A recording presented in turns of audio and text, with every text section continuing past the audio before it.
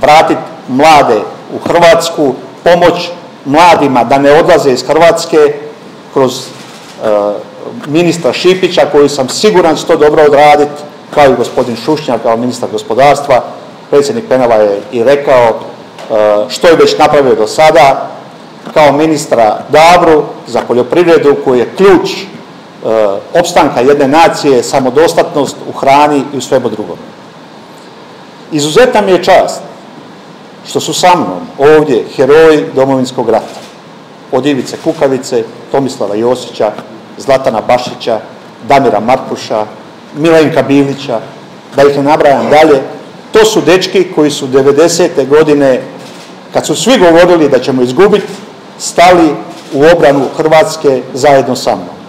Tako su i sad stali u obranu i dali svoje E, vrijeme, sve svoje da probamo promijeniti i staviti Hrvatsku na pravi put, da idemo putem koji, je, koji smo mi zacrtali u Domovinskom pokretu, a to je Vukovarska Hrvatska. Kad kažem na Vukovarska Hrvatska, tu mislim na hrvatski narod koji je prošao patnju, borbu, ali ponosan i čestit je ostao i poslije toga.